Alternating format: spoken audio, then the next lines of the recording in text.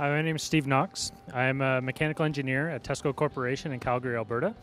We currently have a seat of PTC Creo to actually manage some of the data that we can't in our other CAD tools. So when we have to share data with various customers, whether it's a fit in a mast, uh, for example, we actually share a shell, an outside shrink wrap of that model, send it to the customer without any fears of losing IP, and then they verify the fit and then they send in money. So it works out and creates a nice order stream system.